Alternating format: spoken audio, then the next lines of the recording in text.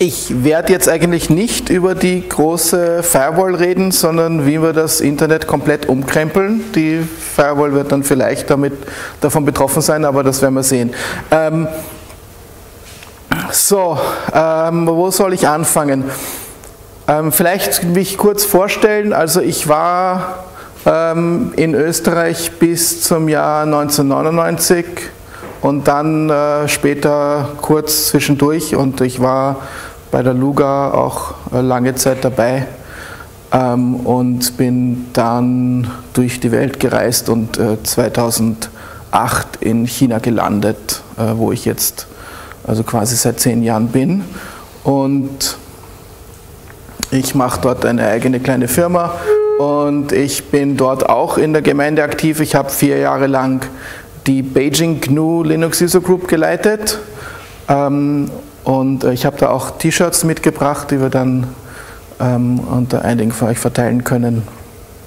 Ja, und jetzt seit Oktober äh, letzten Jahres bin ich ähm, zu diesem neuen Projekt gestoßen. Das äh, nennt sich Elastos, das ist ein äh, Betriebssystem und darüber werde ich jetzt äh, heute Abend reden.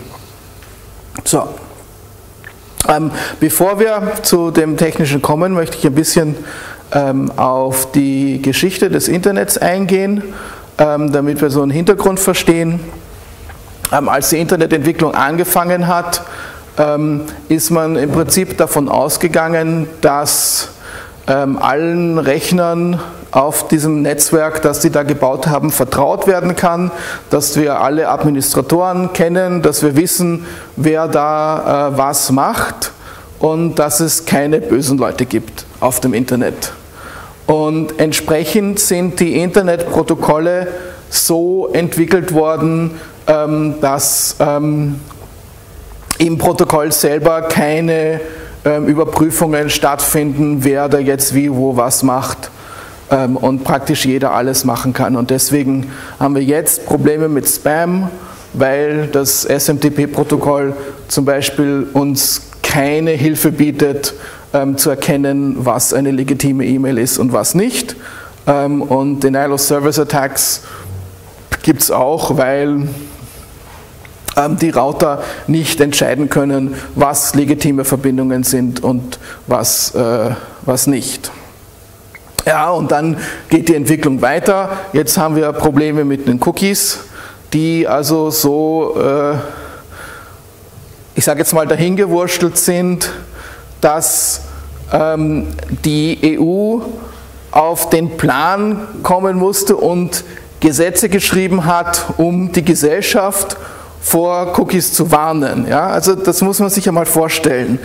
Ähm, was wir hier produziert haben, ist so schlecht, dass es den Gesetzgeber braucht, um die Gesellschaft von unserem Produkt zu schützen.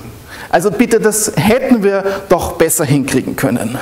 Das müsste nicht notwendig sein. Aber das ist jetzt da und ähm, das müssen wir halt besser machen. So, und dann kommt ähm, Internet of Things, und das Ganze wird noch schlimmer, ja, weil die ganzen Internet of Things äh, Geräte sind einfach hoffnungslos ähm, ungeschützt. Da kann also da gibt es quasi keine Sicherheit. Da kann bei den meisten Geräten, die werden so schnell dahin gewurstelt, dass da also jeder irgendwo äh, leicht einbrechen kann und die Geräte für ähm, Sachen benutzen kann, für die sie nicht gedacht waren. Ähm, na, und deswegen sind wir jetzt auf den Plan gekommen, uns zu überlegen, wie gehen wir das an, wie kommen wir aus diesem Schlamassel raus. Ähm, ein Gedanke dazu vorweg, ähm, wenn man sich einmal überlegt, wenn wir eine Veränderung erreichen wollen vom Gefühl her, ähm, denkt man sich, eine Änderung in kleinen Schritten ähm, ist leichter zu realisieren und kommt besser an. Ähm, die Realität ist anders. Ja, ähm, IPv6, wie lange warten wir jetzt schon drauf? 10 Jahre, 15 Jahre, 20 Jahre? Ähm, für den Endanwender ist IPv6 ein kleiner Schritt, weil sich im Prinzip fast gar nichts ändert. Technisch tatsächlich ist es aber ein, ein Riesendrama, das zu implementieren. Und deswegen läuft es noch immer nicht und stattdessen hat man dann noch einen Workaround, einen anderen Workaround und so weiter gefunden. Ähm, und es wird noch eine ganze Weile so weitergehen. Auf der anderen Seite haben wir Sachen wie Twitter, Facebook, das Web selber, das eine, für den Endanwender eine dramatische Änderung darstellt, wie wir miteinander kommunizieren und wie wir mit dem Internet arbeiten. Ähm, trotzdem obwohl das so eine dramatische Änderung ist, haben diese Systeme sehr schnell ähm, ihren Anklang gefunden, sind sehr schnell populär geworden.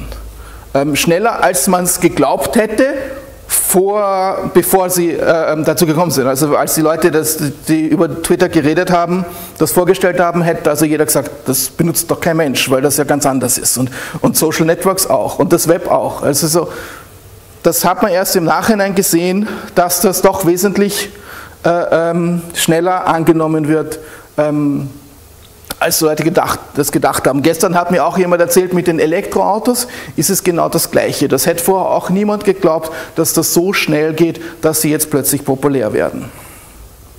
Ja, so entsprechend, Elastos als Entwicklung ist ähm, eine massive Änderung. Ähm, es ist aber so leicht zu verwenden wie ein Webbrowser. Ähm, brauchst du nur runterladen und dann kannst du es auf deinem Telefon zum Beispiel laufen lassen. So, was ist Elastos jetzt eigentlich? Ähm, da gibt es vier Punkte dazu. Es ist zum einen ein komplettes äh, Set von, von APIs und Frameworks äh, geschrieben in C++. Ein ähm, ähm, Distributed OS Runtime, wie setzt man das jetzt auf Deutsch? Ähm, verteiltes äh, äh, Betriebssystem, eine verteilte Betriebssystem Laufzeitumgebung, so heißt das, glaube ich, ja, ähm, mit ähm, End-to-End Security, also Sicherheit vom einen Endpunkt zum anderen Endpunkt über ein äh, Peer-to-Peer-Network. Ja, die Elastos Laufzeitumgebung ist ähm, gebaut, dass sie in Containern und virtuellen Maschinen ähm, und virtuellen Systemen laufen kann. Und sie benutzt die Blockchain für die Authentifizierung im, im Netz und noch für einige andere Sachen. Jetzt gehe ich einmal diese Punkte alle der Reihe nach durch. Also zuerst soll die C++ API und die äh, Frameworks. Es ist im Prinzip eine Sandbox, für Applikationen, die in C geschrieben sind. Also eine C++ Runtime ähm, und da gibt es ein C++ Runtime ähm, Inspection, Introspection System, also zur Laufzeit kann ich ähm, Objekte analysieren ähm, und rausfinden, was das für Objekte eigentlich sind. Und das braucht man für ein verteiltes System, wo ich von einem Programm, das auf einem anderen System läuft, eine, eine, eine, eine Nachricht kriege, ein Objekt kriege und ich muss dann rausschauen, ob das überhaupt passt, dass ich mit dem kommunizieren kann. Und ähm, das funktioniert normalerweise in, in, in, äh, in Skriptsprachen und in, in, in, in solchen äh, Runtime-Compiled-Sprachen, also Python und äh, äh, Ruby und so weiter, funktioniert das sehr gut. Ähm, und in C, C++ gibt es das eigentlich nicht. Ähm, ich habe ich hab gesucht, es gibt ein oder zwei andere Ansätze, sowas anzubieten, ähm, ist aber nicht, nicht normal und gängig. Und die haben also da praktisch ein neues System geschrieben, um das äh, ähm, dann genau möglich zu machen.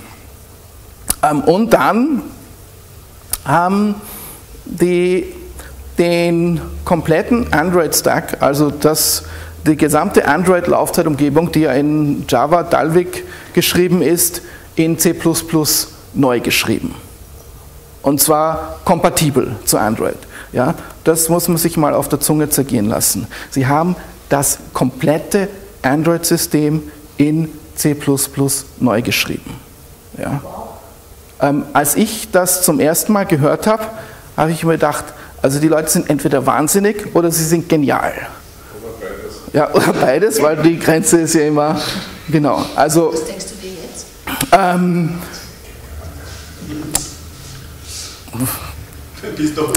ich, bin, ich, bin noch, ich bin noch unentschlossen. Es wird sich, ähm, es wird, es, ich, ich sage mal, es hängt davon ab, wie weit das dann nachher von den Leuten angenommen wird, ob es, ob es sich gelohnt hat. Ähm, da ist eine ganze Menge Geld reingegangen. Das äh, kommt dann später noch. Ähm, ja, warum? Warum haben die das gemacht? Ähm, drei Hauptgründe. Einmal ähm, Performance und äh, ähm, wie heißt das? Memory Footprint, also die, die Größe der Applikationen, was für IoT-Geräte ähm, noch relevant ist. Es ist natürlich, im, wie die Zeit läuft, wird es immer, immer weniger relevant, aber äh, ähm, die Geräte werden auch immer kleiner und immer billiger. Also noch ist es äh, ähm, relevant, noch macht es Sinn.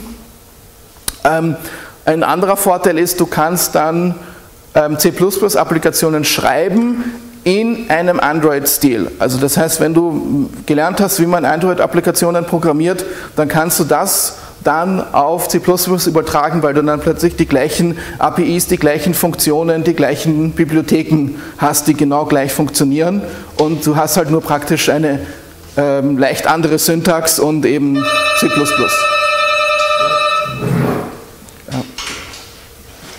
Ich mache da am besten mal Pause. Ja?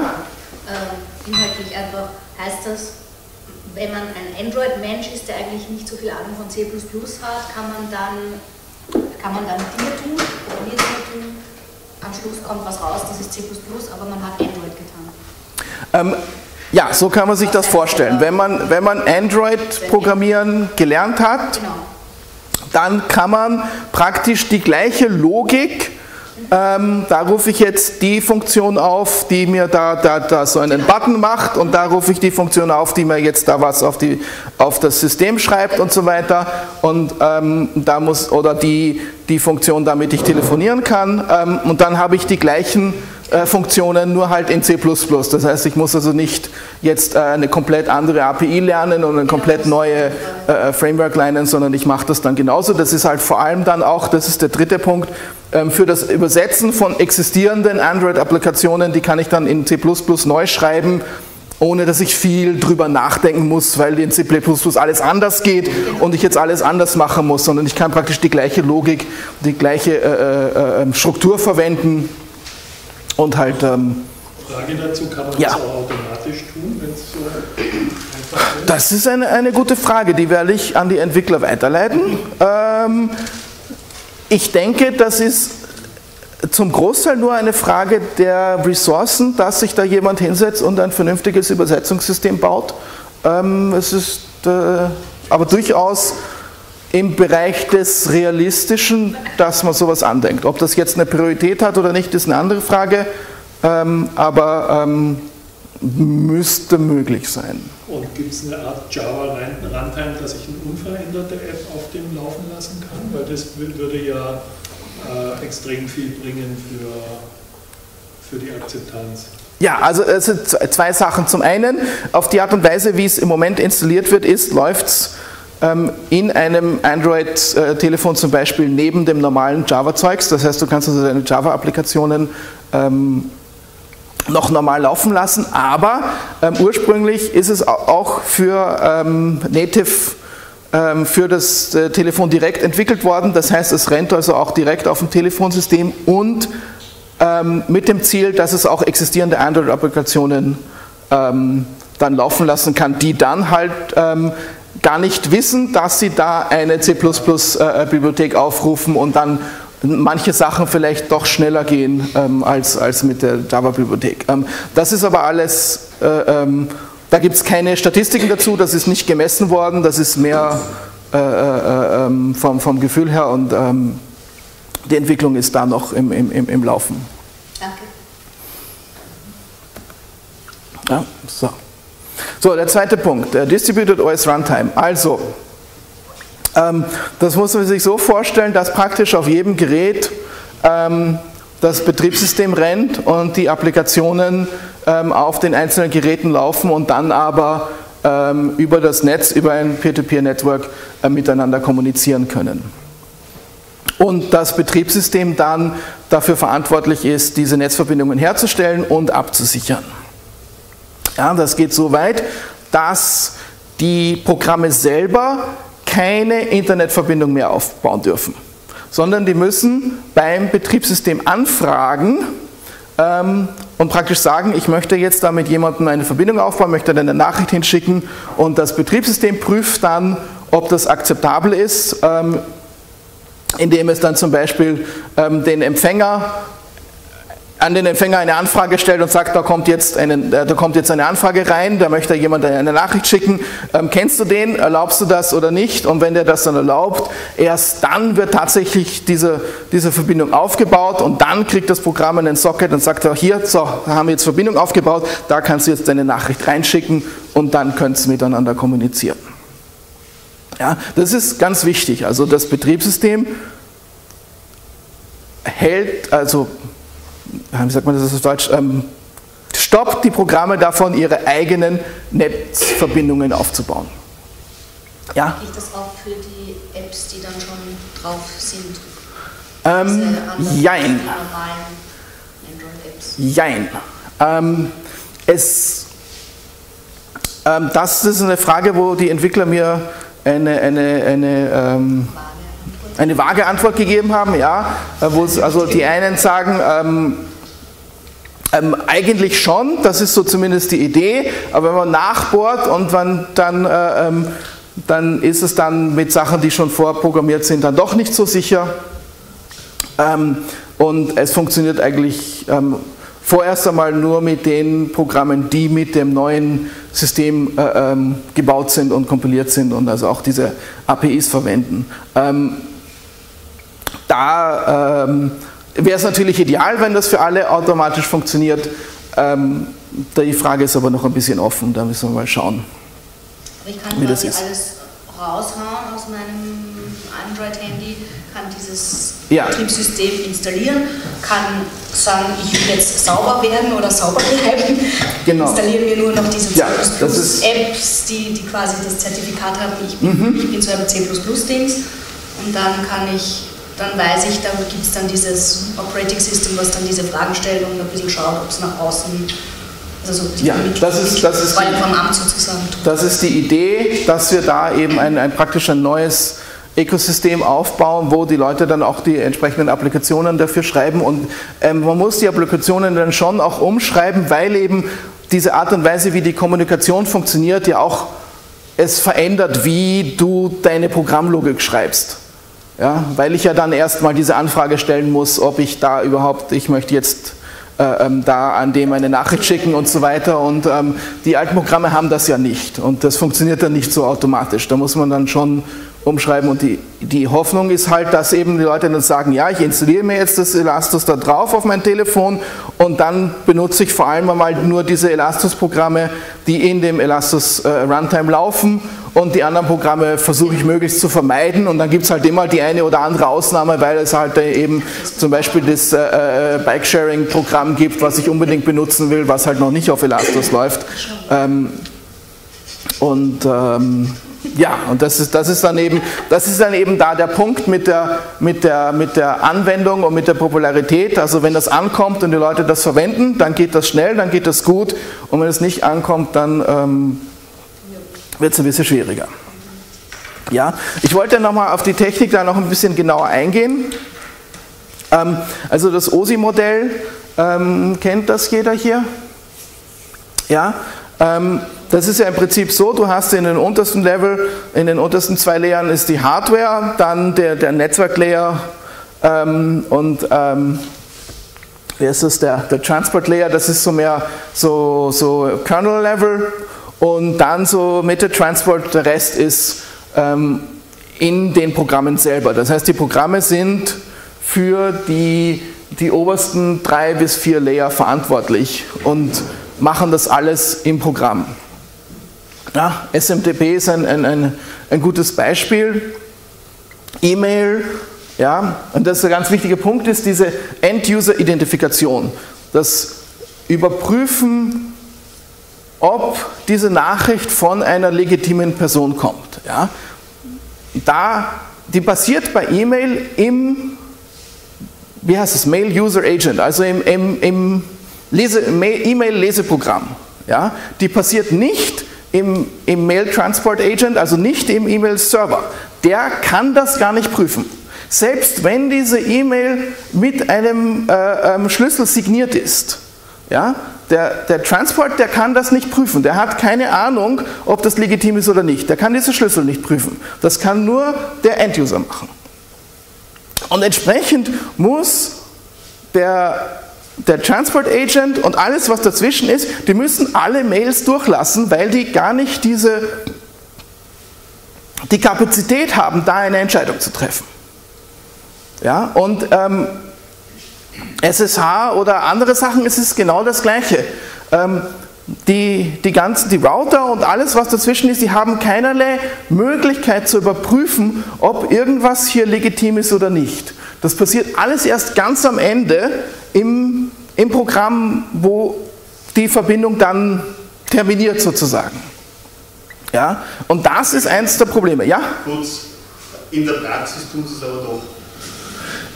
Weil Mail-Server äh, werden zum Spam-Filtern eingesetzt. Also ja, kommen sicher da wird aber, da werden aber, 10% aller Mails, die eingelegt werden, tatsächlich durch. Da werden, da werden Heuristiken verwendet, ja. da wird kurz gesagt geraten, ob das legitim ist oder nicht. Und da passiert es dann immer wieder, dass dann legitime Mails nicht durchkommen.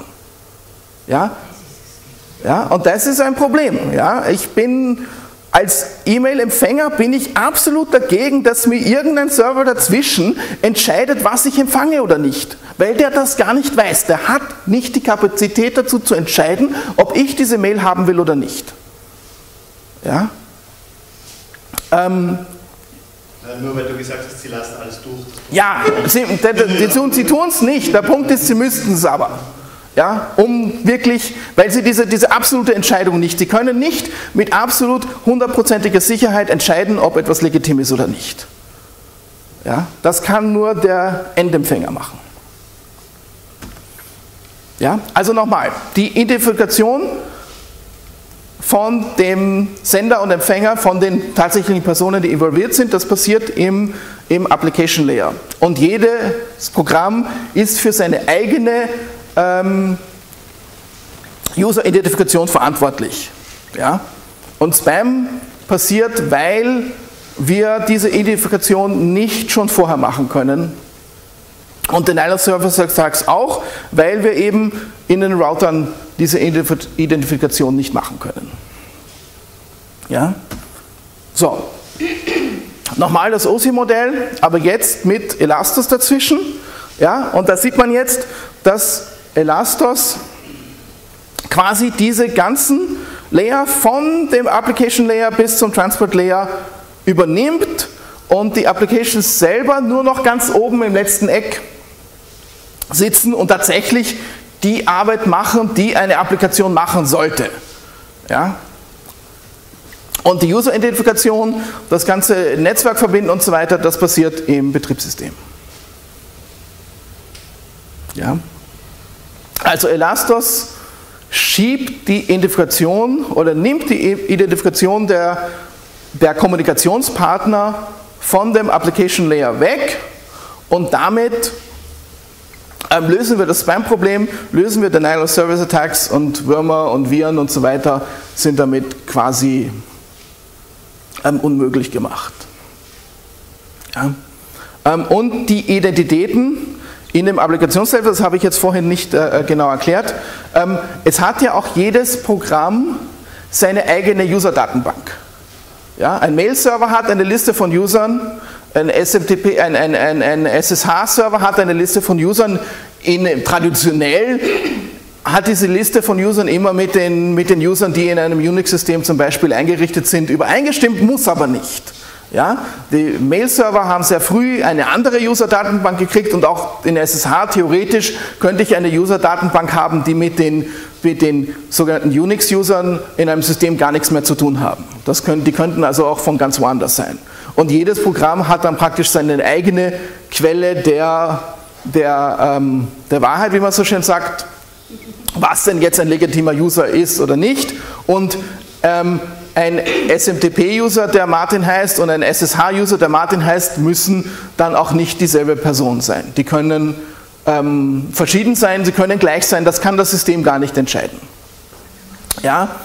Ähm, wir machen da, ersetzen das Ganze dann mit ähm, sogenannten globalen Identitäten im Betriebssystem, auf Betriebssystemebene. Dass also die Anwendungen selber keine Benutzerverwaltung mehr machen, sondern auf die Benutzerverwaltung des Betriebssystems zurückgreifen, die dann ähm, netzwerkübergreifend ist, ähm, weil wir diese äh, globalen Identitäten auch auf einer Blockchain speichern, ähm, wo man sie dann finden kann und verifizieren kann. Ja? Vielleicht ist meine Frage ein bisschen naiv, aber ich meine, ich irgendwie stellen. Eigentlich läuft doch eben Layer 4 und 5 und so nicht auf dem Kastel, was mein Computer ist, ab, aber das Elastos läuft ja auf meinem Kastel ab, oder? Ähm, nein. Also wird das jetzt Wir- von irgendwelchen Routern die- oder so irgendwas weggenommen? Layer 4, 5, 6 und 7 laufen alle in deinem Kastel ab. Sogar Layer 3, 3. Layer 3 läuft auch in deinem Kastel ab. Eigentlich alle Layers ja, laufen in deinem Kastel ab.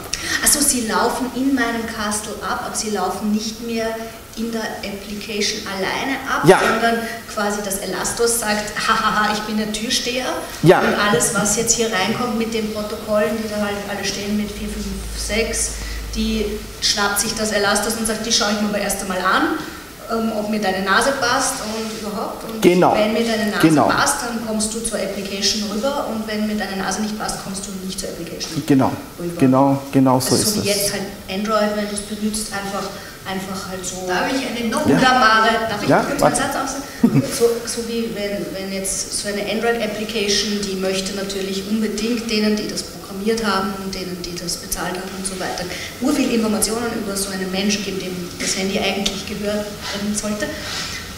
Und das Elastos sagt, stellt sich als Türsteher dazwischen und sagt Mhm. so, naja, also mit einer Elastos-Application kannst du es vergessen, du kriegst jetzt von mir nichts, lieber Herr Google.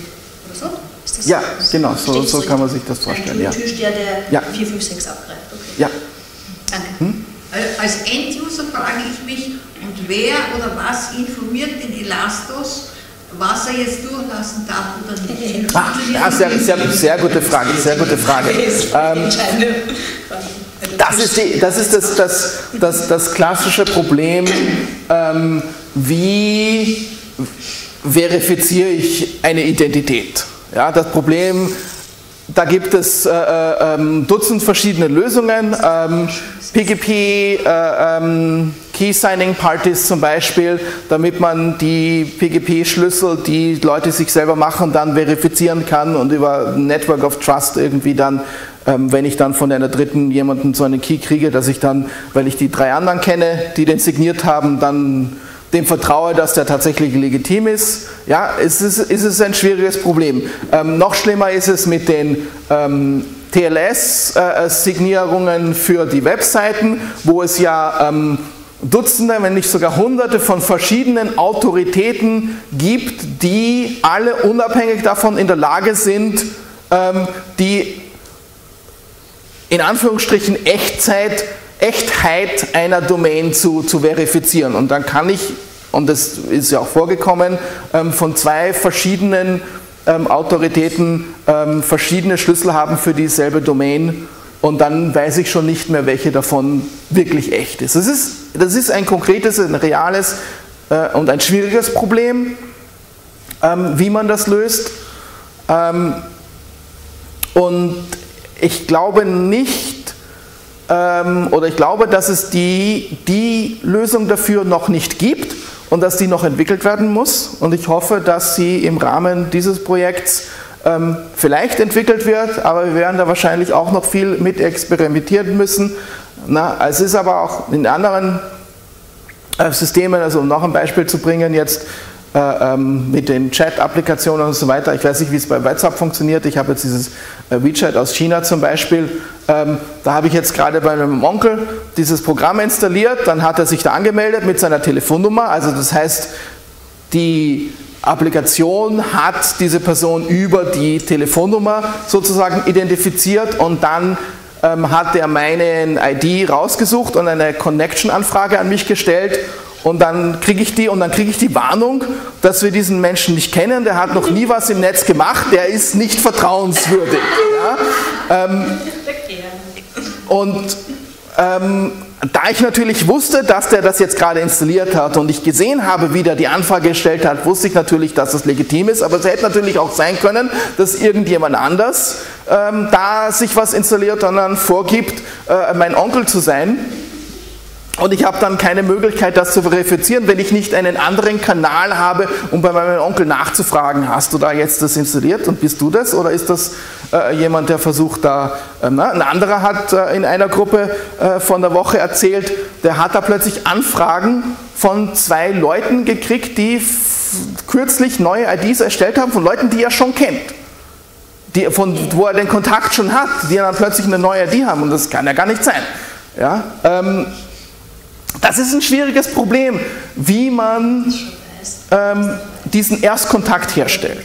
Ja? Idealerweise persönlich, weil man jemanden trifft und dann kann man den Kontakt direkt herstellen, dann ist es natürlich sicher und vertrauenswürdig, aber das wird nicht immer gehen und ich glaube, da werden wir noch viel experimentieren müssen, um da wirklich auf eine geeignete Lösung zu kommen, die wirklich äh, funktioniert und vertrauenswürdig ist und sicher ist.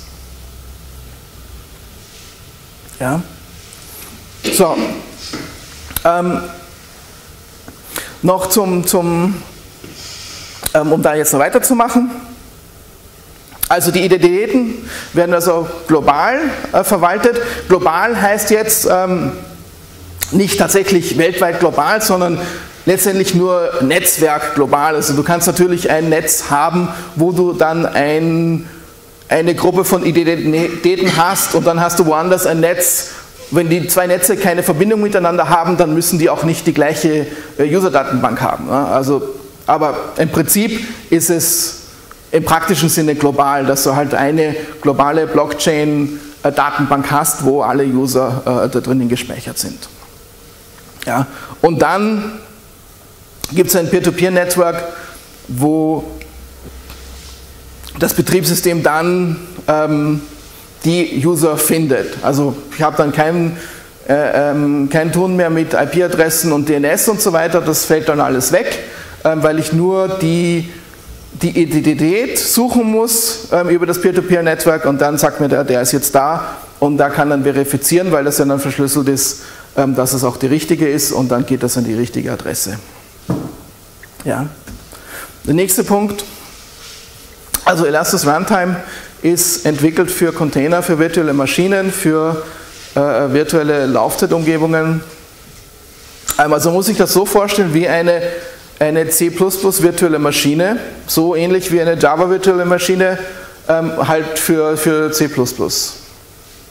Und dann gibt es dann auch keinen äh, Java Native Interface mehr, weil man ja im, im, wenn du im Java ab und zu mal doch ähm, was machen muss, was in Java nicht geht und das in C schreiben muss. Und ähm, das Problem haben wir dann nicht mehr, weil wir ja schon auf C-Level sind.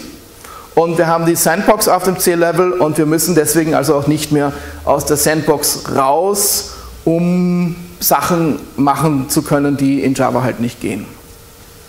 Ja?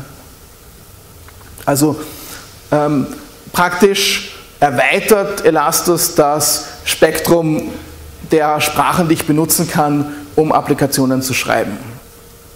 Ähm, ich kann natürlich noch weiterhin in Java Applikationen schreiben, ich kann Skriptsprachen verwenden ähm, oder ich kann halt in C, C++ ähm, Applikationen schreiben, wenn man entsprechend auf dem Level arbeiten möchte. Ja, und man arbeitet dann eben, wie du schon gesagt hast, in einem Android-ähnlichen Programmierstruktur oder einer Android-ähnlichen ähm, Arbeitsweise ähm, wie man eben Applikationen äh, herstellt und Ist produziert. das Zukunft oder kann man das jetzt schon? Also wenn man jetzt Entwickler ist wahrscheinlich. Ähm, kann man das schon? Die Runtime ist im Prinzip fertig und ähm, im Prinzip kann man das schon, ja. Ähm, was jetzt noch nicht geht, ist das Netzwerk und entsprechend kann man noch keine Netzwerkapplikationen schreiben.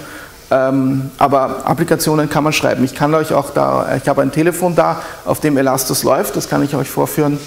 Ähm, das äh, äh, geht im Prinzip schon. Ja? So, die Blockchain, der, der letzte große Punkt. Was machen wir mit der Blockchain? Ähm, ein wichtiger Punkt, die Blockchain zu benutzen, ist, um eben diese, diese User-Datenbank äh, zu verwalten. Ja? Ähm, es ist jetzt nicht zwingend notwendig von dem reinen Elastos-Konzept, dass man da Blockchain dafür verwendet. Blockchain bietet sich aber an in der Art und Weise, wie es funktioniert. Das ist, ist eine, eine, eine praktische, sinnvolle Anwendung für, für die Blockchain. Ähm, User-IDs, Application-IDs und auch äh, ähm, Maschinen, also Gerät-IDs ähm, können dann alle irgendwie auf der Blockchain gespeichert sein. Das heißt, ich muss die nur einmal verifizieren und in dem Moment, wo sie verifiziert sind und ich sie auf der Blockchain wiederfinde, kann ich dann äh, ähm, auf Dauer darauf dann äh, vertrauen. Ja, man kann dann auch ähm, Applikationen ähm, implementieren, die selber äh, die Blockchain verwenden. Also diese, ich sage jetzt inzwischen schon mal klassischen Blockchain-Applikationen. Ähm, zum Beispiel äh, Digital Asset Management, also das Verwalten von digitalen Daten über die Blockchain. Das geht dann auch. Und es gibt dann auch eine ähm, Elastos äh, äh, Coin oder Token, damit man ähm, auch Märkte und äh, solche Sachen äh, produzieren kann. Ja? Was heißt jetzt?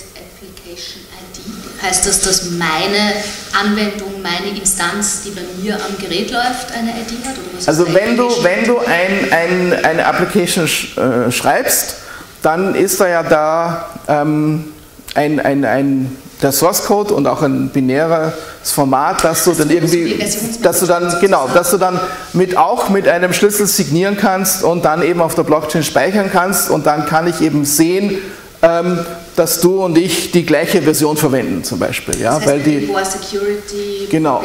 ist und äh, Ja. du weißt das und es gibt dann die neuere Version und du Ja. sagst es mir, kann ich über die Application ID checken, dass Genau. ich eh die habe, wo das gepatcht ist. Genau, zum Beispiel und, ähm, und auch und Viren wirst du nicht auf der Blockchain finden. Ja? Und deswegen können wir solche Viren und solche unerlaubten Würmer und Programme, ähm, Es ist, das Konzept verhindert Malware nicht, es verhindert nur das anonyme Einschleusen. Also es äh, ja, das, okay, da hast du recht, ja, also es verhindert, genau, es verhindert das anonyme Einschleusen von, von, von, von Daten. Und deswegen wird es entsprechend schwierig sein, ähm, da, Viren, da Viren reinzupacken. Also jeder Mensch Ähm. hat eigentlich seine 15 Minutes of Fame. Ich weiß wirklich. Ja. Und ähm, ja, und das heißt natürlich auch, aber andersrum, wenn es jemand geschafft hat, tatsächlich da jemand was reinzutun, dass man das nachher dann sofort identifizieren kann, weil ich ja dann auch dann praktisch dann nur noch auf der Blockchain-Liste nachschauen muss. Äh, ähm, in dem Moment, wo ein Programm als schlecht identifiziert ist, äh, ähm, kann man das dann allen mitteilen und dann äh, ähm, wie die Dynamik da sich entwickelt wird, das ist natürlich auch noch eine interessante Frage. Das heißt, Ist die das Blockchain korrekt? selber. Ist, ist ein Sperrmechanismus vorgesehen? Ähm. Für User und für Applications?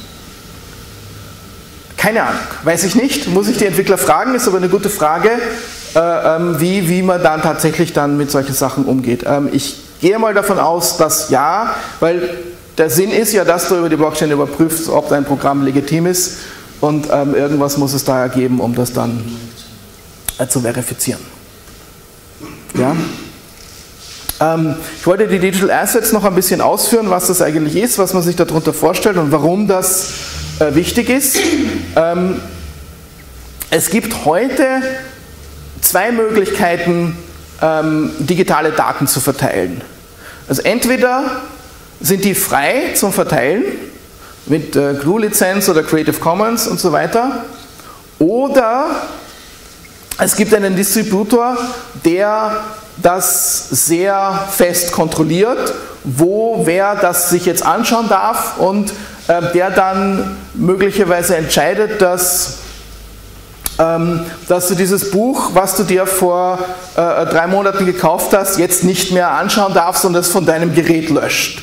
Ja, ich weiß nicht, die, die, die Geschichte mit Kindle und Amazon, die, die da, ich weiß nicht, wie lange das inzwischen her ist, ähm, hat ja jeder mitgekriegt. Ähm, na, also man kauft das Buch nicht mehr. 1984, das habe ich das. Ja, genau. Man, Das Buch, das, das Buch, das war der Titel, ja. Der passt. ja war sehr passend. das war, genau, es war klassisch. 1984. Ähm, man kauft eben digitale ähm, Daten nicht mehr, sondern man leiht sie sich aus. Und der, der Hersteller, der Distributor kontrolliert, wie lange du dir das ausleihen darfst und nimmt es dir weg, wann es ihm passt. Ja?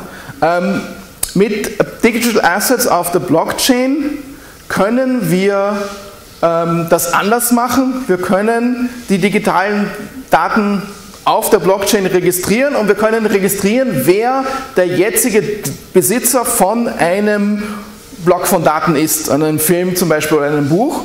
Und ähm, da du dann, wenn du dann als Besitzer registriert bist, hast du dann damit auch die Möglichkeit, das weiterzugeben, zu verschenken oder zu verkaufen und wir machen es damit quasi möglich, dass wir diesen sogenannten Secondary Market, äh, wie es im, im Amerikanischen heißt, ähm, wieder mit digitalen Daten ermöglichen. Da gibt es ja diese, diese ähm, First Sale Doctrine, wo also für, für gedruckte Bücher zum Beispiel, wenn jemand ein Buch verkauft oder wenn jemand ein Buch kauft, dann darf er damit machen, was er will. Und der ursprüngliche Hersteller von dem Buch kann es nicht unterbinden, dass der Käufer das Buch weiterverkauft oder sonst was damit macht.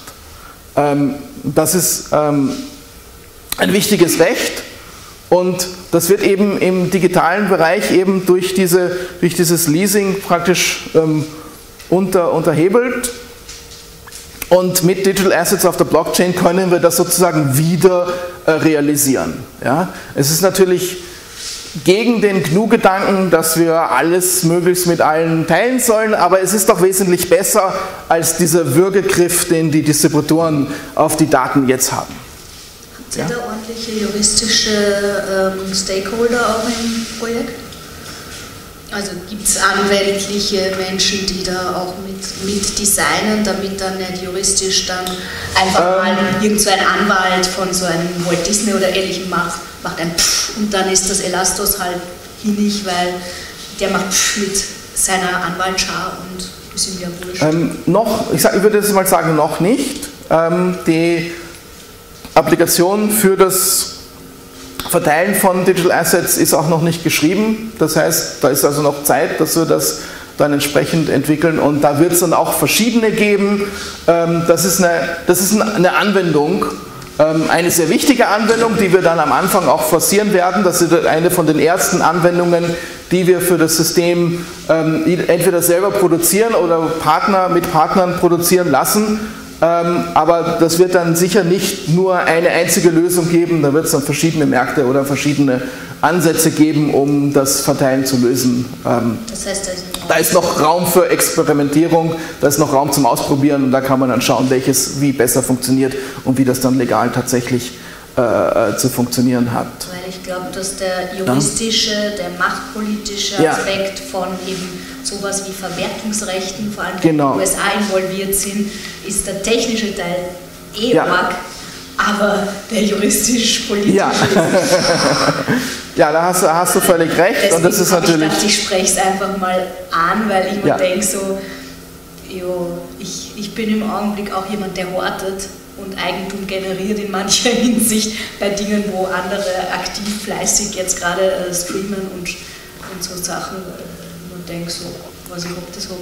Ja, da müssen wir, da müssen wir dann noch schauen, wie, wie sich das entwickelt. Ähm, Ich gehe mal davon aus, die Art und Weise, wie es funktionieren wird, ist, dass ähm, sagen wir, unabhängige Autoren und kleine Autoren zuerst damit anfangen, ähm, statt dass sie ihre, ihre versuchen, ihre Bücher und ihre Filme an Distributoren zu verkaufen, das dann über die Blockchain selber zu distributieren. Ein Alternativmarkt. Ähm, genau, ein Alternativmarkt. Im System nicht dabei sein wollen. wollen, genau, und damit dann das System praktisch testen und verifizieren und dann irgendwann sich herausstellt, dass hoffentlich, dass das so populär ist, dass dann die großen Firmen da auch mit rein müssen, damit sie ähm, ihren Content verkauft kriegen.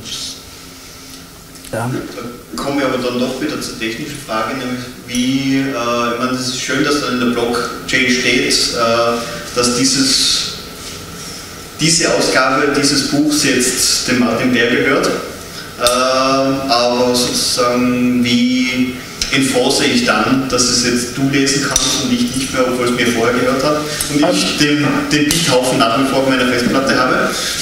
Ja, äh, das, ist, das, ist, das, ist, das passiert dann in der Applikation, die, die ähm, praktisch dir das, das Lesen des, des Buchs erstmal das ermöglicht geht, macht. Geht aber ja. nur dann, wenn ich die Applikation nicht ändern kann. Weil, ähm, wenn die ja, Applikation ja. Open Source ist, dann ja, das kann ich halt prinzipiell unlösbar. Eben, ich, genau, genau darauf ähm, wollte ich hinaus, dass ich das für ein unlösbares Problem halte. Ähm, das ist, das ist ein, das ist ein, das ist ein, äh, sagen wir, ein guter Kritikpunkt. Da, da muss man dann aber deswegen, da wird eben noch experimentiert, wie das wirklich funktioniert. Ähm, eine, eine Idee ist, dass du den Content selber in, mit dem Programm gemeinsam verteilst. Mit dem Leseprogramm gemeinsam verteilst und dass das Programm dann, ähm, du praktisch, du kriegst den Content gar nicht, ähm, wenn du nicht das Programm, das auf der, auch auf der Blockchain registriert ist, ähm, nicht dafür benutzt, um, ähm, um das Ding anzuschauen. Ja? Es, ist, es ist dann eben, ja, das Programm ist dann äh, ähm, in dem Sinne nicht mehr, nicht mehr äh, Free Software Open Source. Da muss man dann schauen, ähm, beziehungsweise das, die binäre Version ist nicht mehr. Du kannst ja den Source ja kannst du ja veröffentlichen. Ähm, und ähm, Leuten ermöglichen, ihre eigene Version von dem Programm zu schreiben, aber die Version, wo der, der, der Film mit reingeladen ist, die ist dann praktisch zusammen kompiliert mit dem Film und du kriegst das als Binärpaket und äh, ähm, ähm, musst es dann so, so nehmen, wie es ist, ähm, wenn du den Film anschauen willst. Ähm, nicht, aber das kann man später verdienen, das geht für den Off-Topic, aber das kann man kryptografisch lösen. Ich kann trotzdem eine freie Applikation haben und mache das über Schlüsselmanagement. Ja, genau. Ich glaube trotzdem nicht, dass du, du den Schlüssel einmal gehabt hast, das wieder verbieten kannst, dass das wieder zumachen ja. Also das ist, das ist eine interessante Frage. Also das interessiert mich auch. Ja? Mich, mich interessiert dann auch, ähm, wenn ich dann so einen, einen, einen, einen Film über die Blockchain kriege, ähm, ob ich den dann, wie ich den, ob ich den dann kopieren kann und ob man das System aushebeln kann. Ne? Äh, ähm, die Frage ist natürlich auch, ob man, ob man das Problem hundertprozentig lösen muss. Ja, Weil, zum Beispiel. Äh, seit es Netflix und so weiter gibt, mhm. äh, werden ziemlich sicher weniger äh, Filme über Kinox 2 oder ähnliches äh, verteilt, weil es einfach billig und einfach ist, zu dem äh, zu dem Film zu kommen, genau. Und die, die meisten Benutzer machen ja nicht etwas äh, Verbotenes nur damit sie es verboten machen, sondern sie machen das, was am einfachsten dargestellt mhm. ist. Das ist richtig, genau. Ja, da, da kann es eben sein, dass wir hoffentlich dann ähm, dem Konsumenten damit praktisch näher, nahe genug kommen, dass das System dann einfach angenommen wird und einfach funktioniert. Das kann äh, das durchaus hoffentlich so passieren. Ja. So, jetzt kann ich noch ein bisschen zur Geschichte erzählen. Also dieses Projekt hat im Jahr 2000 angefangen. Ähm, Blockchain gab es damals noch nicht, also es ist kein klassisches Blockchain-Projekt in dem Sinne, sondern es ist ein Betriebssystemprojekt, das war von Anfang an, ähm, also in der ersten Version war die Idee, wir wollen ein Mobiltelefonbetriebssystem bauen und dann ähm, sind dann Android und iOS zuerst da gewesen, äh, fertig geworden und haben also quasi das Rennen verloren und dann die war das Projekt erst einmal ähm, auf Eis.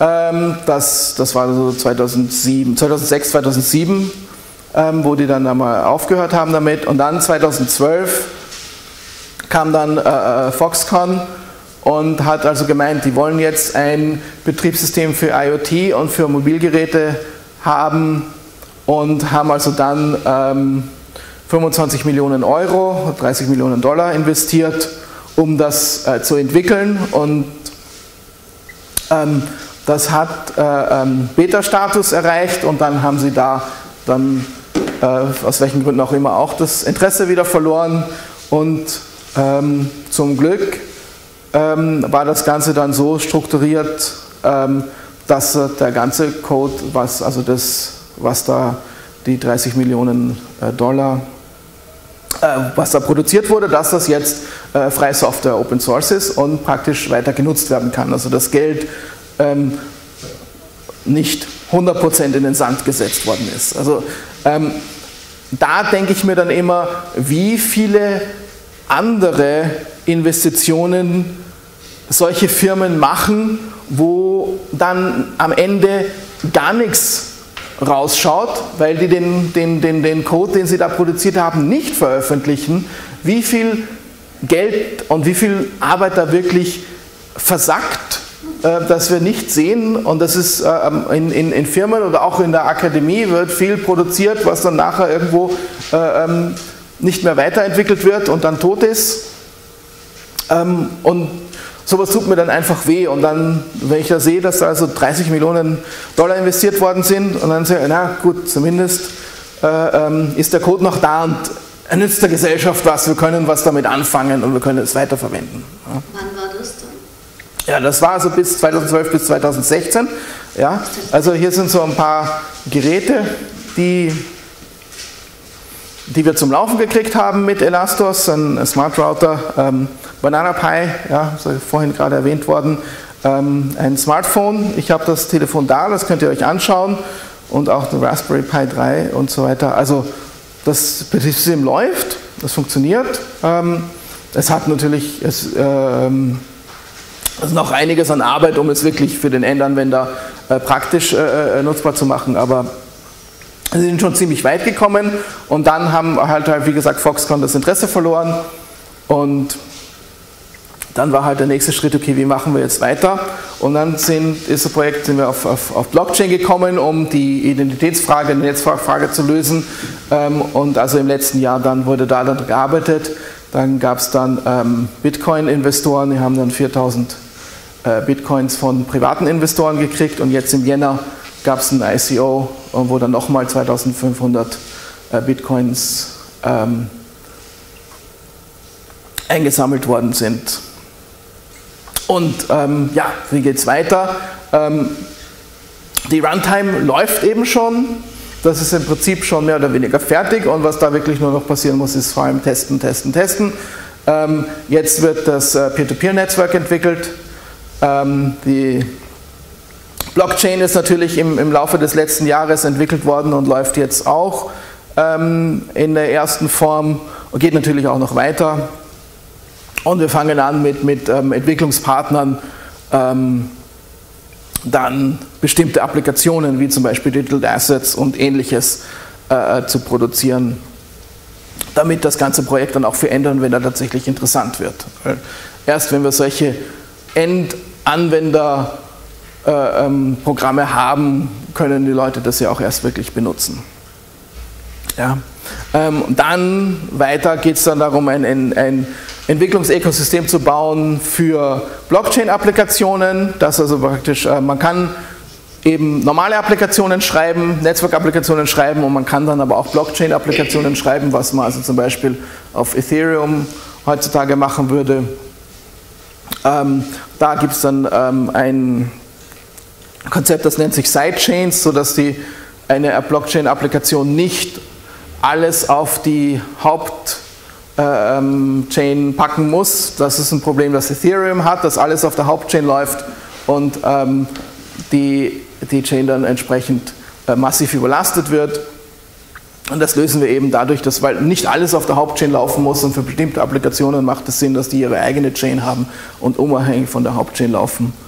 Ähm, dann gibt es ein Framework für Web-Applikationen, dass du auch praktisch in einer Webseite eine, Applikation laufen lassen kannst, die das Elastos Networking ähm, benutzt und äh, äh, nutzen kann. Und am Ende dieses Jahres äh, wird dann das äh, Public Mining für die Elastos Coins, Elastos Tokens eröffnet. Ähm, und dann, ja, also es wird noch ein bisschen dauern, bis bis wir eine praktische Anwendung haben.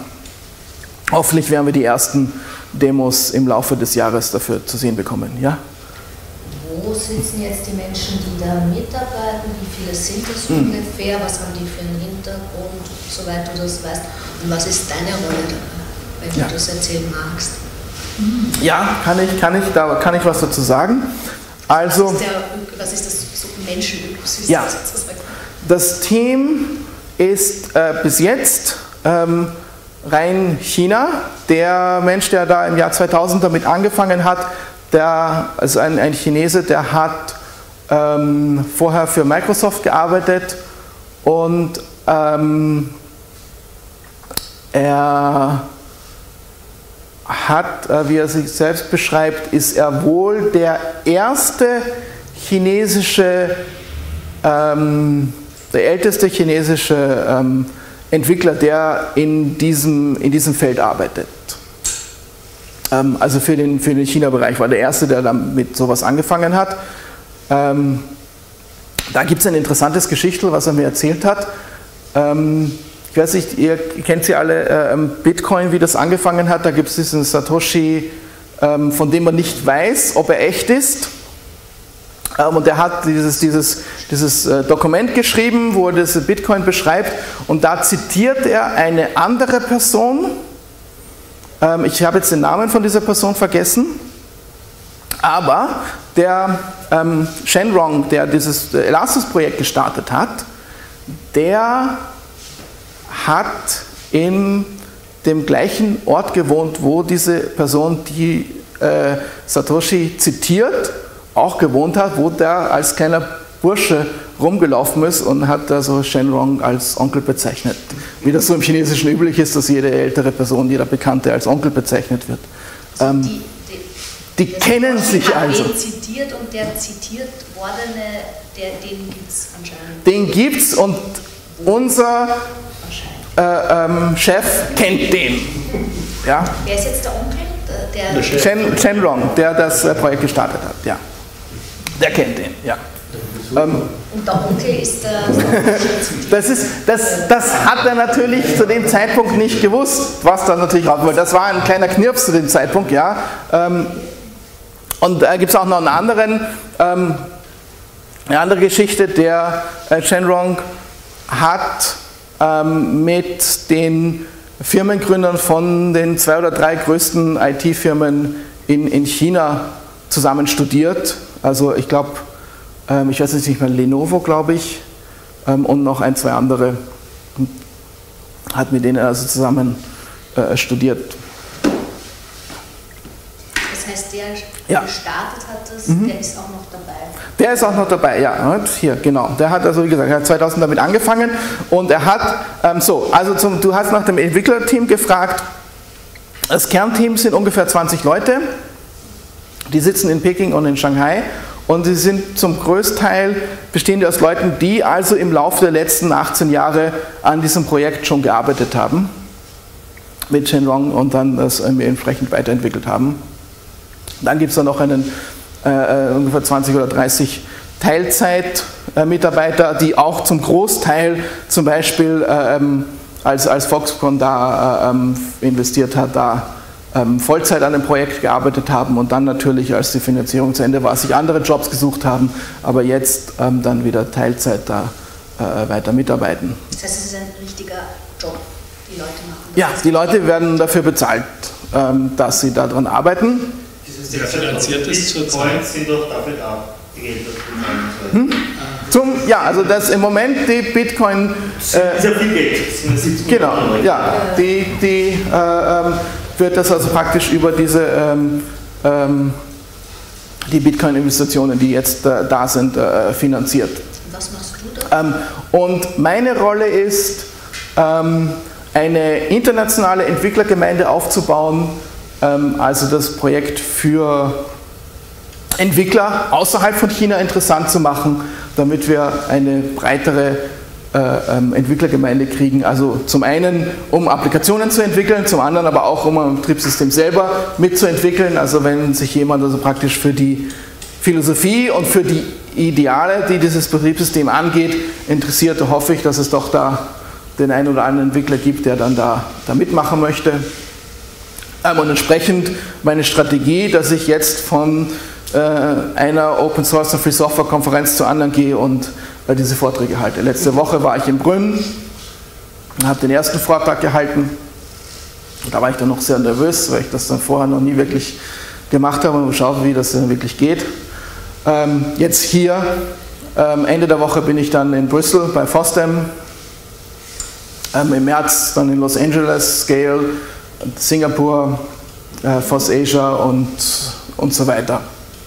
Und ich mache dann auch, ich habe jetzt äh, letzte Woche angemeldet, ähm, da gibt es eine C++-Konferenz in Colorado, ähm, wo ich dann nicht über das ganze Betriebssystem reden werde, sondern wo ich dann im Speziellen auf diese, ähm, wo ist sie?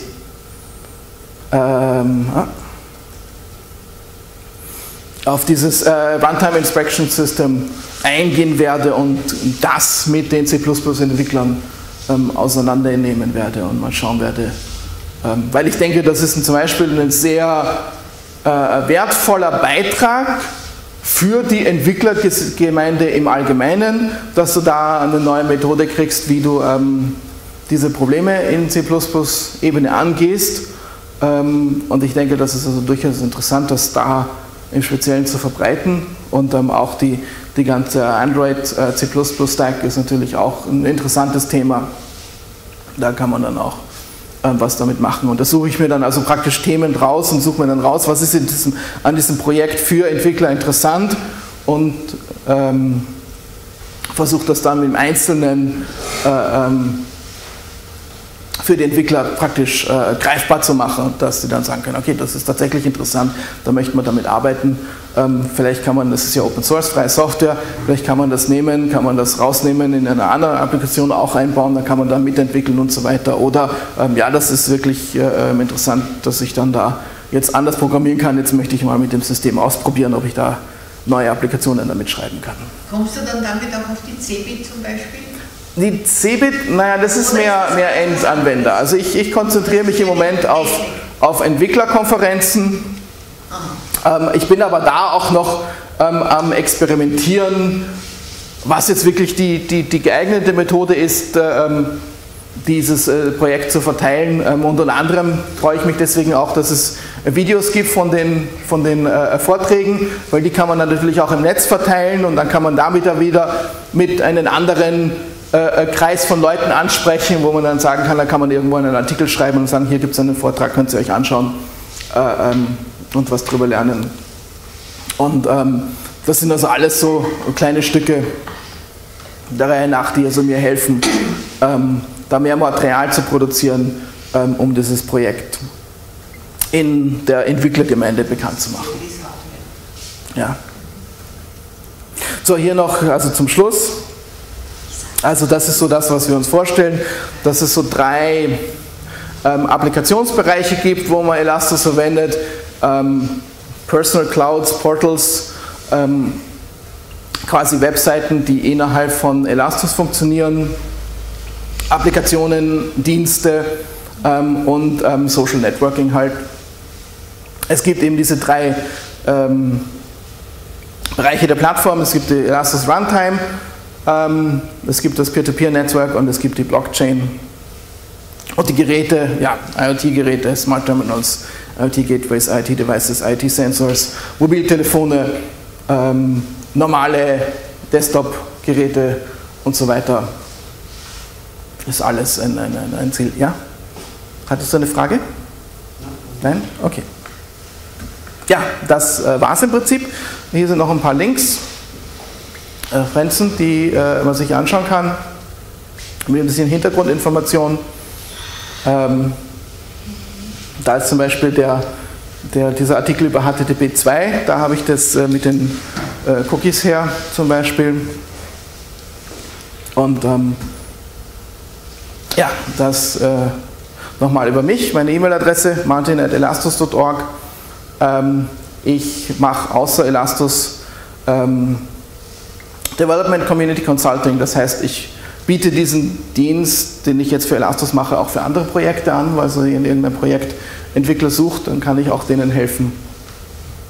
Eine Rat Tat, wie man, wie man das äh, ähm, wie man das macht, wie man an Entwickler rankommt und ich mache auch CTO-Services, also für, für Firmen, die Hilfe auf CTO-Ebene brauchen. Entweder als Teilzeit-CTO oder weil die einen jungen CTO haben, der weniger Erfahrung hat und der vielleicht noch jemanden zweiten hinter sich braucht, wo er dann mal nachfragen kann, ob das jetzt richtig ist oder wie man das angehen sollte und so weiter. Manchmal ist es hilfreich, dass man sich an jemanden wenden kann als, als Mentor und so weiter. Ja.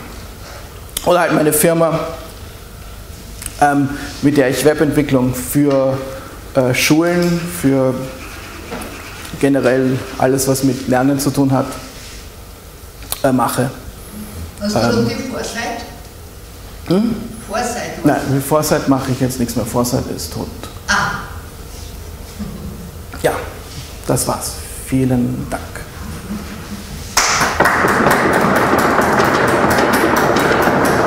Eine kleine Frage hätte ich ja? bitte. Bei einem der Texte, ziemlich weit rechts unten, ist das Wort Sandbox vorgekommen, aber mit A geschrieben. Ich habe geglaubt, kenne das Wort Sandbox, kann mir vorstellen mit E von Sandbox. Also okay, Sandbox, Sandbox ist Sandkasten. Ja. Ein ah, Sandkasten. Die Idee ist, die Idee ist, dass die Kinder im Sandkasten spielen und aus dem Sandkasten nicht heraus sollen. Ja, dass alles, was sie spielen, im Sandkasten bleibt. Ja, deswegen heißt es, heißt es so. Ja? Und du hast also dein Programm, dein Programm, deinen Bagger und deinen Sandkübel und der darf halt nur im Sandkasten arbeiten und der darf nicht draußen arbeiten und darf dann da nicht irgendwelchen Mist bauen. Und dadurch ist das sozusagen praktisch damit eingegrenzt, das ist die Spielfläche. Ja? Eine Frage. Ist das Projekt so weit, dass ich jetzt heimgehen kann und das auf den Raspberry 3 SD-Karte bespielen und ausprobieren kann. Ähm, dass ich sozusagen am Morgen mehr abends anschauen kann, wie funktioniert das Elastos. Also die, die Runtime ist soweit, ja, die ist auch auf, äh, ähm, da ist jetzt der, der GitHub-Link, ähm, die ist auf, auf GitHub, das kann man sich also runterladen, man kann es bauen. Ähm, die Dokumentation ist noch ein bisschen holprig. Also ich, ich, war mit den, äh, ich war dann einmal in Shanghai eine Woche und habe also mit den Entwicklern also das einmal durchgearbeitet und sage, okay, jetzt lassen wir das mal auf meinem Laptop laufen und dann haben wir uns hingesetzt und haben wir, okay, hier ist die Anleitung, so geht das und dann haben wir festgestellt, ah, hier stimmt was nicht, da stimmt was nicht und so weiter, wie das halt so passiert, weil eben sich Sachen verändern und da ist schon die neue Version und die Dokumentation ist nicht auf dem Laufenden. Ähm, aber wir haben es hingekriegt, wir haben es auf meinem Laptop zu laufen gekriegt ähm, da geht es aber, das Netzwerk, Peer-to-Peer-Netzwerk funktioniert noch nicht. Ähm, und darum ähm, war das dann für mich erstmal noch nicht so interessant, weil ich mich vor allem für Netzwerkapplikationen interessiere. Und ähm, wenn jetzt im Laufe der nächsten zwei Monate das Peer-to-Peer-Netzwerk läuft, ähm, dann werde ich mich da nochmal ordentlich hinsetzen und schauen, okay, jetzt können wir mal wirklich eine kleine Applikation schreiben, wo zwei Programme, zwei Computer miteinander kommunizieren können, das dann über Elastos läuft und dann, dann wird es spannend ähm, zumindest für mich. Aber ja, also rein, rein wenn es darum geht, ähm, damit zu programmieren, ist ein Runtime ist schon da und man kann also schon was damit anfangen. Man muss halt sehr viel Geduld haben und sehr viel Fragen stellen, ähm, um, um das dann tatsächlich da äh, zu laufen zu kriegen im Moment. Ähm, das sind natürlich die Kinderkrankheiten, die viele Projekte haben. Ähm, ein großes Problem ist hier natürlich auch, dass ähm, viel Dokumentation auf Chinesisch existiert. Zum Beispiel zu diesem Runtime Introspection System gibt es ein 200-seitiges Buch auf Chinesisch.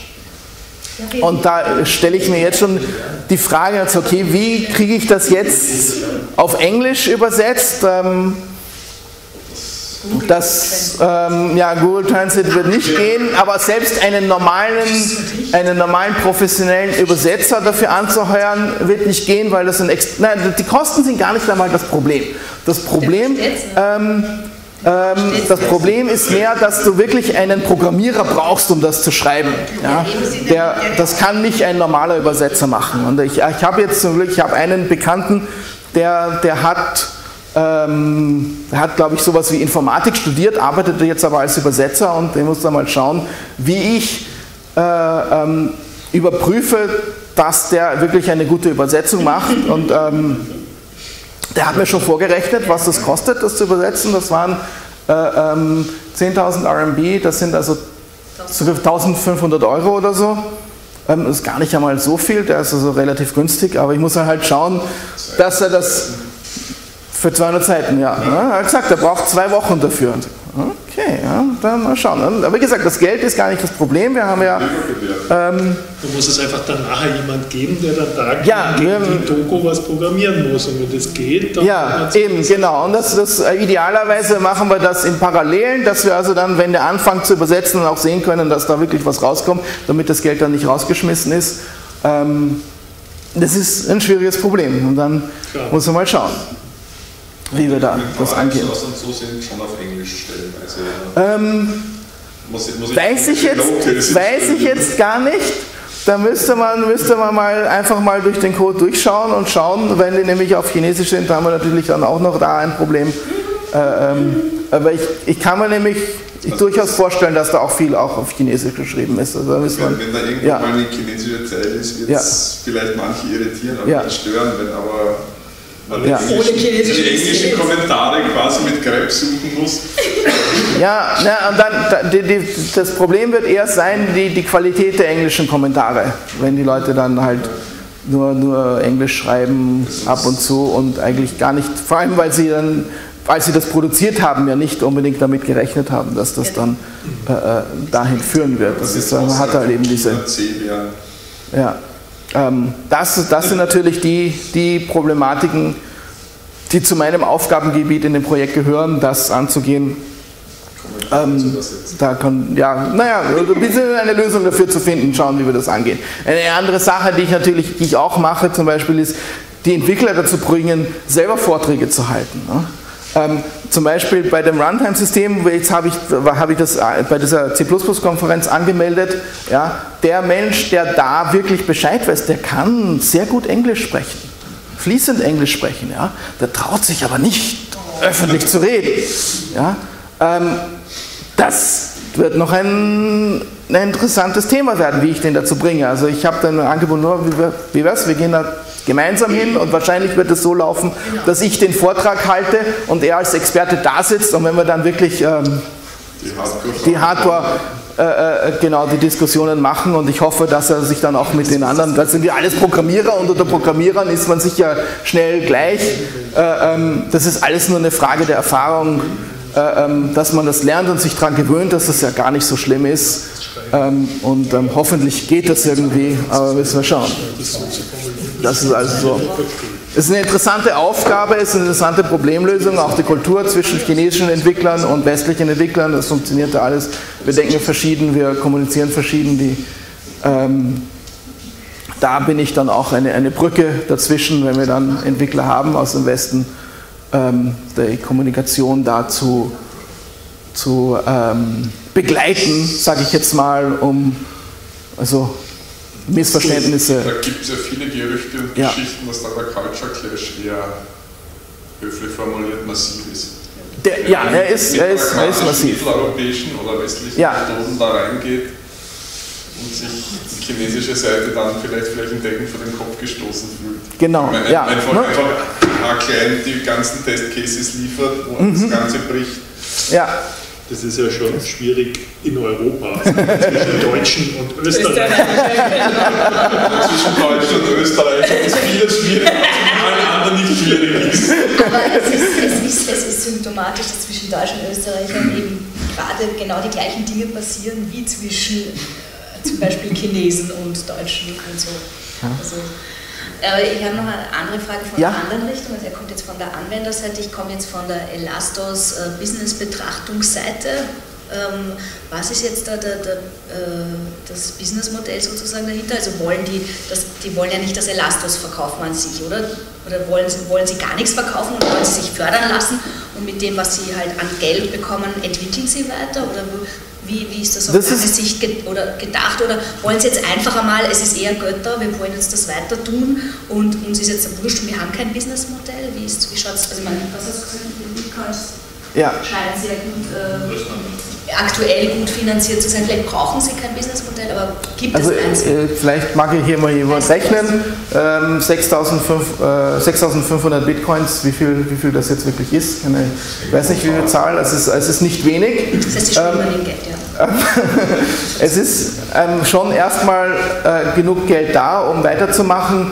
Ähm, das Modell ähm, vermute ich mal, aber da weiß ich auch nichts genau, es wird wohl hauptsächlich darauf hinauslaufen, auf Partnerschaften, wo man also dann zum Beispiel also mit ähm, Entwicklern und Entwick Firmen zusammenarbeitet, die ihre Applikationen auf dem Elastos-System äh, ähm, ähm, produzieren wollen und dass wir dann zusammenarbeiten, dass die dann quasi die Entwicklung mitfinanzieren, um das Ganze dann äh, möglich zu machen. Das, das ist jetzt die schlechte Nachricht, auf die ich, die ich befürchtet habe. Meine, meine Frage wäre jetzt auch gewesen, oder ist jetzt einfach gut, solange jetzt 20 Entwickler hinter dem äh, Projekt stehen und vielleicht dann irgendwann mal, wenn das Ding netzwerken kann, 50, 100 User da drauf sind, dann kann man sein Web of Task Modell noch überblicken und da kann es noch funktionieren.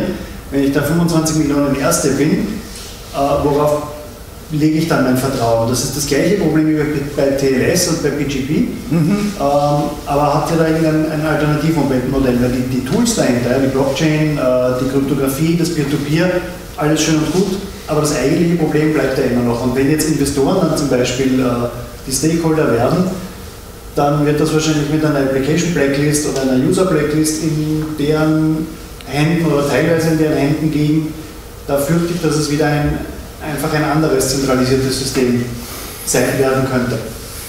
Ja, da müssen, wir, da müssen wir schauen, wie sich das entwickelt. Also, meine, der ganze Code ist ja äh, freie Software Open Source, das heißt, es, also es hindert niemanden daran, das Ding dann zu nehmen und dann äh, ihre, ihre eigene User-Datenbank und ihre eigene Blockchain quasi dann damit laufen zu lassen. Ähm, und dann, wenn also das wirklich zu dieser Kontrollsituation kommt, ähm, dann können wir praktisch das Projekt forken und sagen, okay, wir machen jetzt, ähm, wir ignorieren jetzt diese Kontrolleure da, wir benutzen die Blockchain, die die da jetzt in der Hand haben, nicht und benutzen eine andere. Ähm, das Problem, das, sagen wir so, das Betriebssystem ist ja auch nicht auf eine bestimmte Blockchain festgelegt. Es ist äh, durchaus so gedacht, dass man ähm, da verschiedene, auch miteinander konkurrierende Blockchain-Systeme ähm, verwenden kann. Ähm, und also da, da ist das letzte Wort sozusagen noch nicht gesprochen. Da wird noch viel experimentiert werden. Ähm, es wird auch deswegen zum Beispiel absichtlich nicht ähm, jetzt mit der Blockchain experimentiert, in dem Sinne, dass wir jetzt äh, ausprobieren, was ist jetzt das beste Blockchain-System, sondern wir haben jetzt einfach eins genommen, von dem wir wissen, dass es funktioniert, wo wir wissen, wie es funktioniert. Und wir lassen das, wir brauchen, bringen das jetzt erstmal zum Laufen. Und dann, wenn das läuft, dann können wir uns andere Alternativen, was ist das Hashgraph und was es da sonst noch alles inzwischen gibt, wo experimentiert wird und schauen, ähm, ja, vielleicht ist dieses Blockchain-System nicht das Beste, äh, da gibt es vielleicht ein anderes und wir schauen mal, welches besser läuft und so weiter. Aber erstmal bringen wir ein, ein System zum Laufen, von dem wir wissen, wie es geht. Ähm, das gleiche mit Peer-to-Peer, -Peer, da wird nichts neu erfunden, da benutzen wir das Standard, ähm, wie heißt das da, DHT, äh, äh, Carmelita oder so System, ähm, was im BitTorrent und an anderen Systemen auch schon ähm, praktisch verifiziert ist, dass es funktioniert. Ähm, aber wenn dann jemand ein neues äh, Peer-to-Peer-System erfindet, dann kann man das dann auch da als, als, als Layer wieder einbauen und dann kann man experimentieren. Also das ist, da müssen wir, da wird man einfach schauen, wie sich das entwickelt und was da passiert. Das ist also wirklich noch offen da jetzt also gar nicht so sehr also die, die technischen Details, ob das jetzt wie die Blockchain funktioniert oder Distributed Hashtag oder sonst irgendwas, also da glaube ich nicht der Knackpunkt, sondern der Knackpunkt ist, wie, äh, wo, wie du gesagt hast, worauf gründe ich mein Vertrauen? Mhm. Also ja. einerseits irgendwie, wenn äh, sozusagen, ja, ist schön, ich habe jetzt eine globale ID, aber woher weiß ich jetzt irgendwie, äh, dass die ID, mit der ich da jetzt gerade kommuniziere, also der Inhaber dieser ID, ob das jetzt ein Programm ist oder eine Person, ist in dem Fall wurscht, für den Anwendungszweck, den ich gerade habe, vertrauenswürdig ist. weil das ist ja, ja. auch nicht global. Also das stimmt. Es ja. kann ja sein, also äh, ja, äh, wenn man jemand eine Mail schicken will, äh, weil er, keine Ahnung, was auf meiner Website gelesen hat oder äh, ein Bug in einem Programm von mir gefunden hat oder sonst irgendwas, äh, dann ist das Vertrauen, äh, das ich brauche, um die Mail zu öffnen, ein anderes als wenn ich dem meinen Vermögen anvertraue, dass er es ja. äh, an der Börse anlege und vermehre. Ja, da, da, hast, hast, du, hast du völlig recht. Das ist, das ist genau natürlich so ein, ein, eine Problematik. Da haben wir auch äh, gestern oder vorgestern äh, darüber diskutiert. Da hat jemand die Idee aufgebracht, man könnte ja zum Beispiel die Banken verwenden, ähm, um sozusagen als, als ähm, Rückhalt für die, für die Identifizierung. Und ähm, dann habe ich mir gedacht, ähm, Jara hatte nicht ganz unrecht, ähm, wenn es ums Geld geht, interessiert mich ja eigentlich gar nicht, wer die Person ist, die da jetzt mein Produkt kauft, sondern interessiert mich nur, ob der flüssig ist und mich auch zahlen kann. Ja? Und wenn die Bank das bestätigt, dann reicht mir das. Ja? Ähm, ja, weil das ist mir dann wurscht, wer das ist. Aber wenn ich äh, ähm, die, die, die, die Fotos von meinen Kindern äh, verschicke, ja, dann möchte ich wissen, dass das auch wirklich jemand aus der Familie ist und nicht jemand anders, dem ich diese Fotos schicke. Ähm, da habe ich eine ganz andere Vertrauensfrage. Das ist völlig richtig und da müssen wir einfach noch experimentieren, da müssen wir einfach schauen, ähm, was es für, für Möglichkeiten gibt und wie man dieses Problem angehen kann. Ich denke, das ist ein ein großes offenes äh, äh, Thema. Da ist ein kleines Fragezeichen dabei. So eine Bank darf doch nichts bekannt geben, Daten, Dinge und so weiter. Welches Recht, wann bekommt dieses Recht zu bestätigen, dass der flüssig ist? In welcher Form wäre Wenn das? er sagt, dass. Ja, das, funktio das funktioniert ja jetzt auch schon. Ah. Die Kreditwürdigkeit und sowas, da gibt es ja ah, schon Systeme. Äh, ähm, okay, okay. Ja, das, auch nur, die, ja. ob das Konto gedeckt ist, wenn du mit der Kreditkarte ja. zahlst Genau. und du hast es überzogen, dann ah, diese kriegst du innerhalb von einer Sekunde zurück, das geht nicht. In dieser Richtung, okay, käme aus. Ähm, besteht, ich, ich verstehe zu wenig von der Blockchain, aber besteht vielleicht in diesen Sidechains eine Möglichkeit, diesem zentralen Login zu entkommen? Wenn ich sage, gut, dass das Forken dieses Netzwerks wird dann nicht funktionieren, wenn die großen Content-Player mitspielen. Weil dort, wo Netflix ist, dort forke ich nicht mehr weg, wenn ich Videos sehen will. Da bin ich wieder allein. Ne? Mhm. Aber äh, ist es, könnte eine Lösung sein zu sagen, okay, die großen Content-Deliverer, die haben ihre Blockchain mhm. und wir als, als, als Linux-Community haben unsere Blockchain ja, und machen ja. unsere Peer-to-Peer-Kommunikation damit und ich habe in einem Betriebssystem verwende ich beide äh, Kanäle ja. oder noch mehrere. Aber in kleineren Communities für Messaging, für eben diese Social-Media-Aktivitäten zum Beispiel, entsprechende ja. durchaus, ja. oder Sidechains. Ja, ja. Durch, durchaus kann man sich das so vorstellen. Ich komme wieder von der untechnischen Seite und frage, woher die 4K Bitcoins Funding und die 2K Bitcoins Funding kommen und du davon was weißt. Ähm, also die 4K, das sind äh, private Investoren, wo also praktisch die Leute, ähm, die die äh, Gründer des Projekts, die sind also da, die haben da sehr gute Kontakte. Die, also wie gesagt mit Neo, das ist eines von den größeren äh, Blockchain-Projekten, äh, äh die ähm, auch äh, mit dabei ist. Ähm, der, einer von den Gründern von Bitmain, einem der größten Hardware-Hersteller für Bitcoin Mining äh, Hardware. Ähm, da gibt es zum Beispiel eine, eine, Zusammenarbeit, dass wir ein sogenanntes Merge Mining entwickeln, das also dann auf diese ähm, Mining-Maschinen ähm, gleichzeitig für Bitcoin und für Elastos das, das Mining passiert, dass du also nicht äh, ähm, doppelt und getrennt äh, das machen musst, sondern kann praktisch das Mining, was für Bitcoin schon passiert, mit benutzen, um auch das Mining für, für Elastos zu machen. Wie genau das technisch funktioniert, habe ich auch noch nicht gelernt. Das ist auch eine meiner Aufgaben in den nächsten Monaten, das zu verstehen. Ähm, aber irgendwie, irgendwie geht das. Wie geht das? Die, ähm, so wie ich mir das jetzt naiv vorstelle, liegt es das daran, dass du, um einen, einen Block zu meinen, ja 10.000 Versuche parallel machst und einer davon funktioniert und 9.999 werden dann weggeschmissen, aber die kann man dann für was anderes verwenden. Also wenn du dann praktisch äh, sozusagen, du meinst also 10.000 Lösungen und die eine passt auf Bitcoin, die andere passt auf Elastos und so weiter, ohne dass du da irgendwie doppelt. Also wie das genau funktioniert, weiß ich nicht. Ähm, das werde ich in den nächsten Monaten äh, mir erarbeiten müssen, indem ich mit den Entwicklern zusammenarbeite und von denen lerne, wie das geht. Das heißt, möglicherweise erhofft sich die Bitcoin-Community über, über das Blockchain-Thema bisschen Publicity, so wo auch immer, wie auch immer. Das, das sowieso auch, ja. ja. Na, unter den Entwicklern vielleicht. Also ich, ich, ich finde das noch ein interessantes Thema.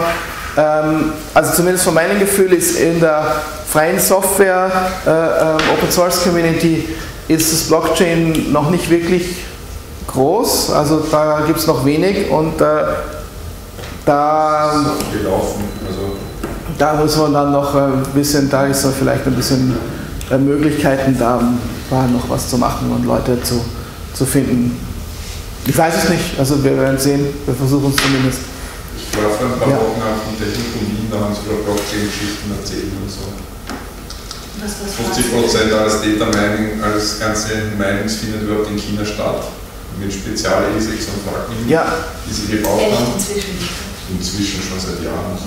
Ja, in Österreich gibt es Leute, die machen Geld, dass du bei denen Mining Hardware mieten kannst. Die Stöpsel waren irgendwie ein Container voll mit Hardware das kostet halt so und so viel in der Woche, stellen in Wien das Stromkraftwerk, weil da der Strom billiger ist, wie wenn das in Wien steht. So wie viel Server Space bietest du Blockchain? Das waren, das waren in China ganz genauso. Und da, aber natürlich in, in, so inzwischen. Auf mehreren Dingen. Ja. Auf, also Bitcoin ist gehypt gewesen, es gibt inzwischen, ich weiß nicht, 250 ja, Blockchains auf der offiziellen, der offiziellen Seite, wo sie alle gelistet sind. Und je nachdem, wie viel man rechnen muss, mit welchen CPUs machen andere Blockchains zu rechnen, kommerziell mehr sind. Die rechnen das nicht, weil sie Spaß haben, sondern weil sie was zurückkriegen. Ja. Da ist dann. Äh ja, das ist alles noch in, in Entwicklung. Ne? Eine kleine Frage. Äh, wieso kommt in diesem ganzen Konvolut das Wort Cloud nicht vor? Welcher Bereich wäre das? Hm? Cloud, was die, die, alle, alle Welt schwärmt von, das ist die Cloud, die Komiker reden drüber. Weil wir hier Techis sind.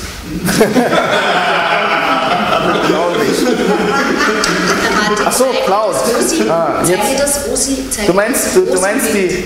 Zeige das OSI-Bild und Application Layer und dass dann die Application vielleicht in der Cloud hängt und erkläre das, was ich gesagt habe, dass es versteht. Ähm, das wirst du schon. Kann man das in einem Satz? naja, was, was, ist, was ist Cloud? Cloud ist, ist ja im Prinzip nur das äh, ominöse, wird, ja, reale Netz. Also im Prinzip ist jeder Computer, der nicht mein eigener Computer ist, Cloud.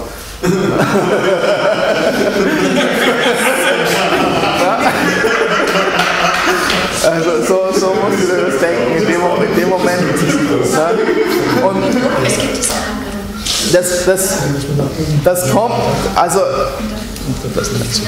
und das kommt ja wahrscheinlich daher, dass man diese Netzwerkdiagramme ja immer so gezeichnet hat. Da habe ich am einen Ende habe ich meinen Computer, am anderen Ende habe ich einen anderen Computer und dazwischen habe ich diese, wird dann so eine Wolke gezeichnet und das ist das Internet und deswegen hat dann irgendwann gesagt, das heißt jetzt Cloud und äh, ah, da, da, hat sich der Begriff eingebürgert. Und dann das hat sich das irgendwie, ja, und deswegen, weil wir das alles schon länger verwenden, bevor dieser Begriff Cloud irgendwie äh, äh, beliebt war, ähm, brauchen wir diesen Begriff nicht, weil der im Prinzip nichts Neues anbietet. Ne? Jetzt hört es einmal oft dazu. Gut. Wieso? Nur wenn man das alles lernt. Sicher. Ja. ja. Übrigens, weil du ja. gesagt hast, jeder Computer, auch meiner, klaut. Ich sage zu meinem Sohn immer, Soundcloud ist, wo man Sound klaut. Ja. Und das macht er dann auch ganz brav. Ja. Na gut, gibt es noch irgendwelche Fragen? Oder sonst. Äh